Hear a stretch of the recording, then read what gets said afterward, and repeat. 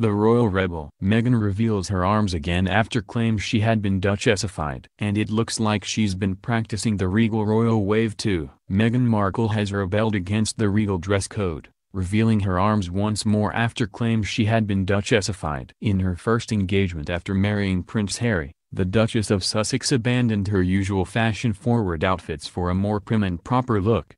But after her honeymoon, Meghan has reverted back to her modern image by ditching her sleeves in an off-the-shoulder frock. Meghan showed off her polished but bold wardrobe choice today at the Trooping the Colour ceremony in London with her new husband. Her clavicle-baring dress wasn't the only thing that drew attention to the new royal, as it appeared she'd been practicing her regal wave before her excitable wave-in engagement photos with Harry back in December was not quite royal-ready. Meghan gave a polished and poised wave to thrilled crowds as she made her way through London with Prince Harry in an open-top carriage. This was the pair's first formal engagement since their show-stopping wedding in May, and comes after their rumored mini-honeymoon in Canada.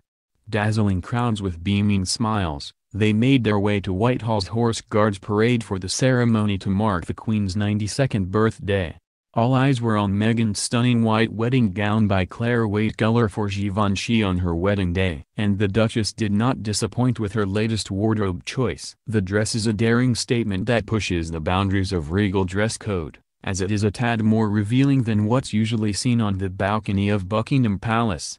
Stylish as ever, she opted for a pretty and pink vibe with a sophisticated off-the-shoulder pastel dress by Carolina Herrera, a favorite designer among the royals.